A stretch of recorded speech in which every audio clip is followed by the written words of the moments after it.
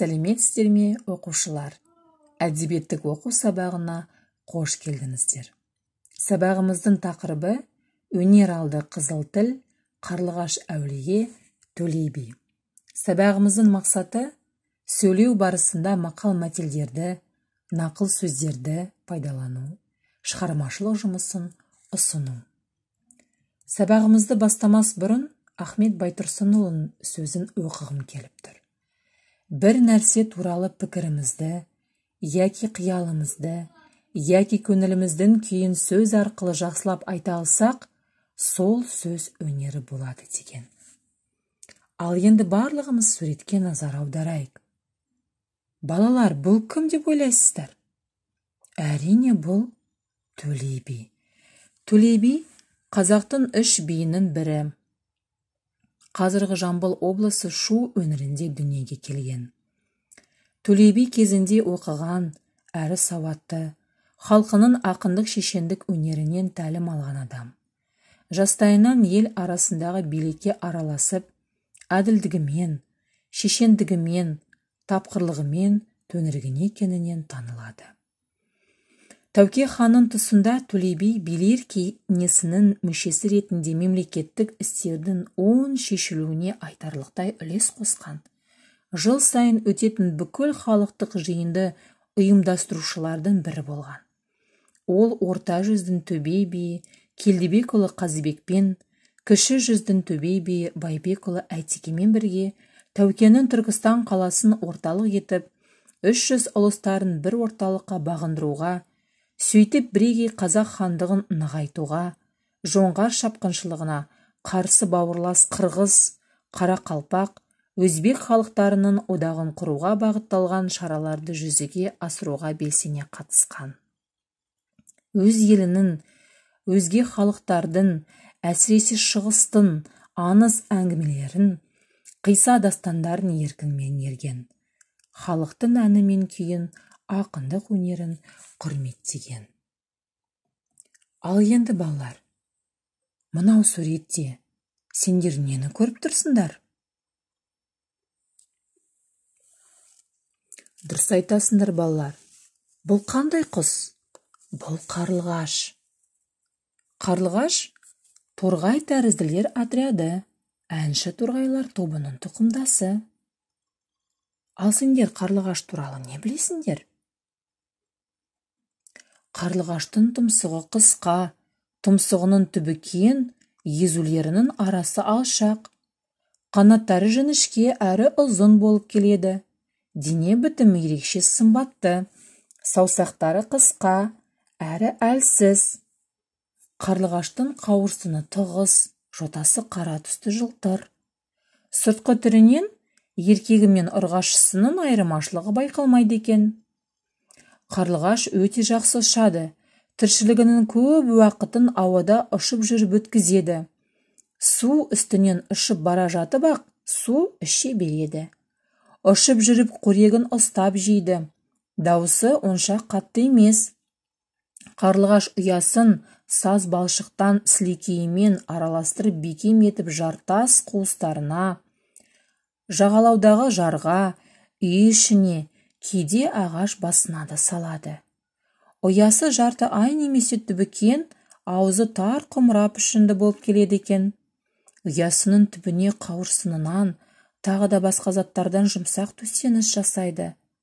Ашық ұядағы жұмыртқа қара теңбілді шұбар жабық ұядағы жұмыртқа ақ түсті болады. Балапандары қызыл шақа болып туады. Қорегі көбіне ұсақ жәндіктер. Ашық күндері биіктеп ұшады да ауа райы жауын шашынды болар алдында жер бауырлап ұшады. Сондықтан да қарлығаштың ұшу ерекшелігіне қарап ауа райының өзгерісін алдын ала болжауға болады. Егер үйдің төбесіне қарлығаш ұя салатын болса онда бұл отбасында бақыт пен береке болады деген ырым бар. Ежелгі адамдардың айтуынша оның ұясын бұзу үлкен сәтсіздікке әкеледі.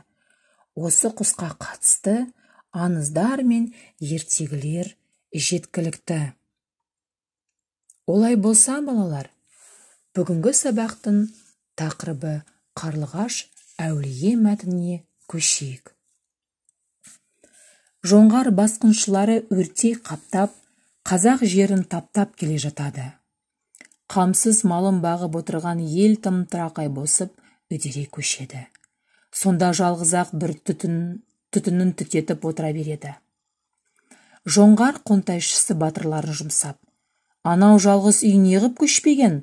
Барып біліп келіңдер дейді. Келсе ол төле бидің үйі екен. Жоңғар жігіттері әкіреңдеп жұрттың бәрі көшіп кеткенде сен кімсің? Неғып отырсың? дейді.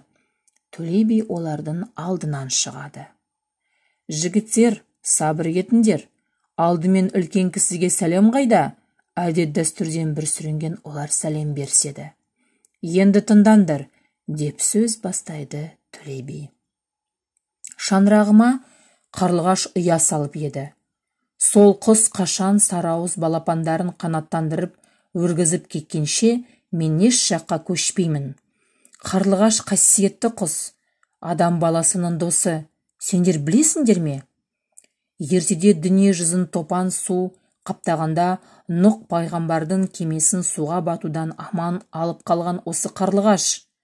Адам баласына қастандық жасамақ болған жыланнан да қорғап қалған осы қарлығаш. Мен жау келді деп үйімді жығып оның ұясын бұзып балапандарын шырылдатар жайым жоқ. Сендердің де бала шағаларың бар. Сендерді жұмсап отырған ханның да бала шағасы бар. Сонда бала шағаларыңды улатып шулатып қырып қырғын сүргін қылып жатса жақсы көресіңдер ме? Бар. Хандарына осы сөзімді жеткізіңдер. Жоңғар жігіттері барып төле бидің осы сөзін айтса қонтайшысы былай деп жауап беріпті.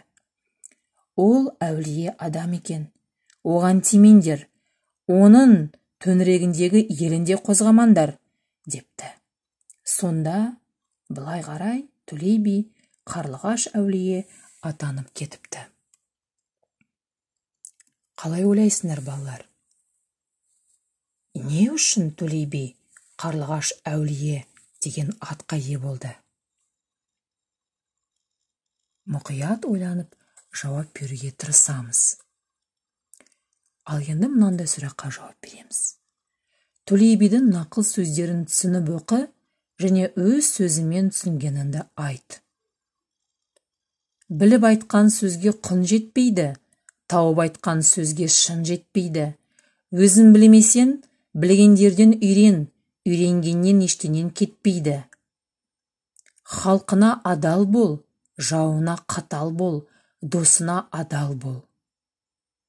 Шешендіктен не пайда артында сөзі қалмаса батырлықтан не пайда халқына қайран қылмаса. Осы төле бидің нақыл сөздерін түсініп оқып мұғаліммен бірге талдап алуларына болады.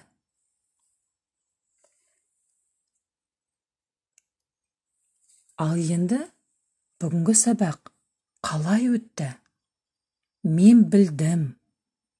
Мен үйрендім. Маған не ұнады? Мен үшін не қиын болғаны? Және де менің көңіл күйім қандай? Деген сұрақтарға жауап беруге тырысамыз.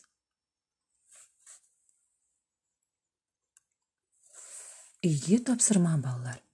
Төле бидің нақыл сөздерін жаттап ал. Осымен сабағымыз аяқталды. Назарларыңызға көп рахмет.